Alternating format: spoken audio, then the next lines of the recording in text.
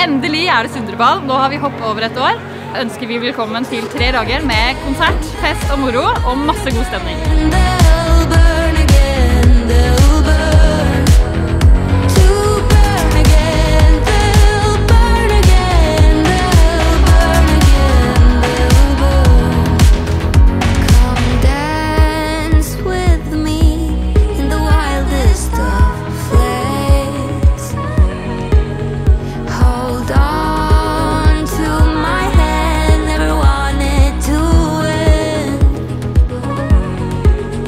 against the